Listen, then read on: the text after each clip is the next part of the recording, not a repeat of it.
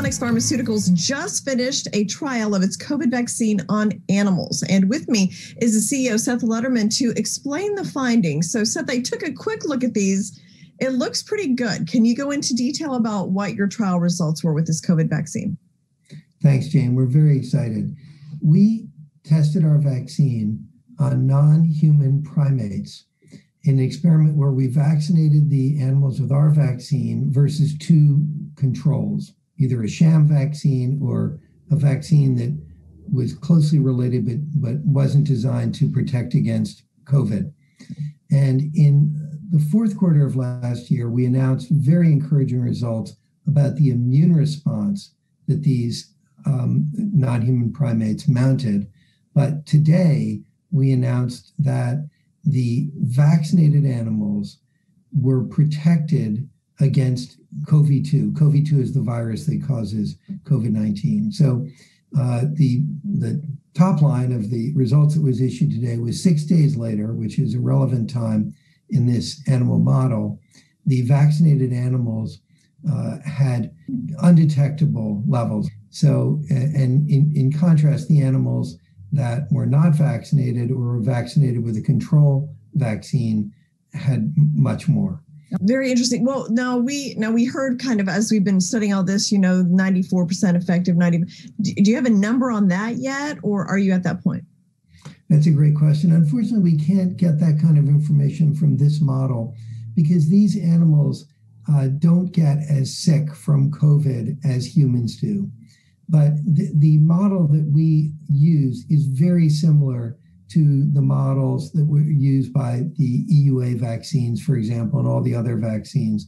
And uh, we won't have that kind of number until we get into humans because we have to just look at the amount of virus we can detect instead of looking at how healthy or sick the animals get. Mm-hmm. Now, when we talked last time, um, you had explained a little bit about your goals for this vaccine that it might be something that it could be used every year. I mean, kind of explain how this would fit into the whole COVID vaccine ecosystem.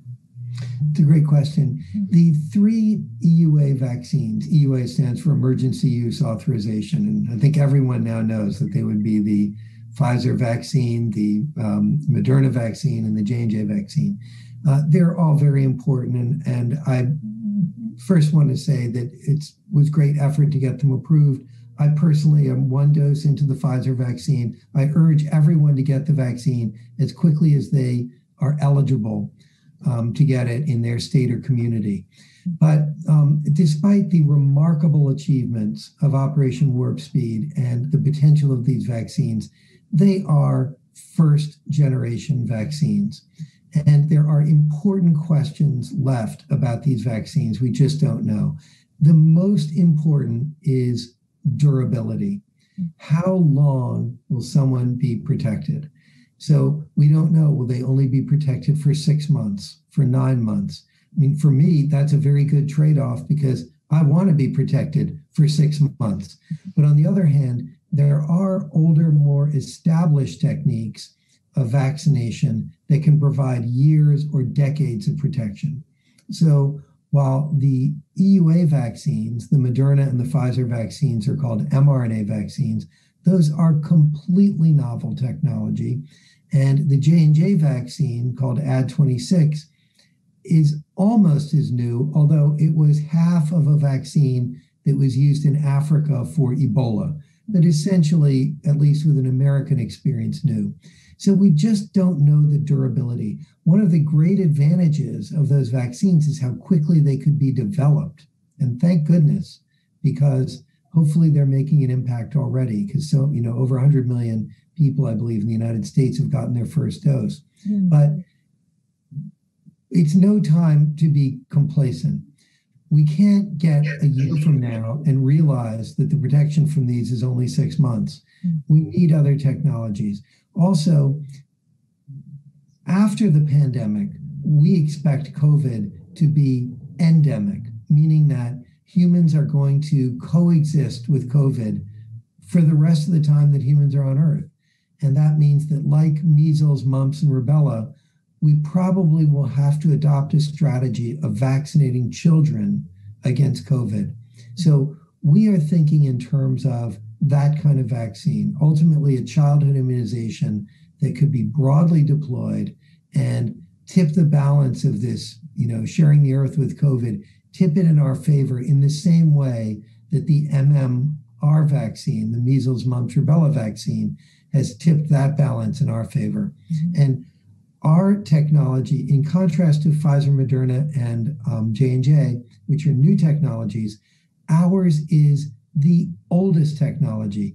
Literally, the first vaccine was a vaccine to protect against smallpox developed by Edward Jenner in 1796.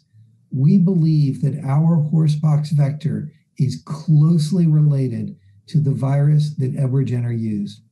That virus provides years, decades of protection, and it was the most successful vaccine ever because it eradicated smallpox, the only viral disease ever eradicated. So we're taking the best part of the old virus vaccine technology and applying it to this new threat. Mm-hmm. So I think that that's why we're, we're very different. Very interesting. So the vaccine is called TNX 1800, correct? So yeah. what's next? What's next is we hope to uh, study humans this year.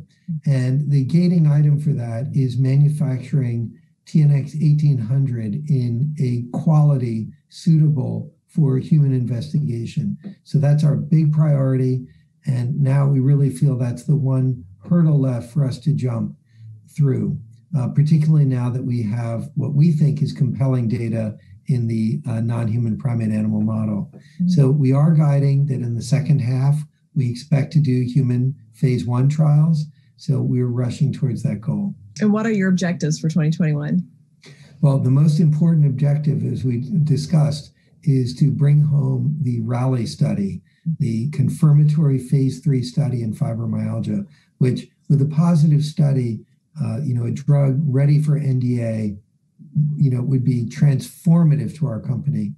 Um, the other thing, uh, the other big thing we're hoping for, again, something we talked about, is to get our COVID 19 vaccine, TNX 1800, into a phase one human study. Okay, well, thank you. Very interesting update, Seth, and best of luck. And pr- please come back and update us as these trials and studies go on throughout the year. Thank you very much for your interest. Thank you.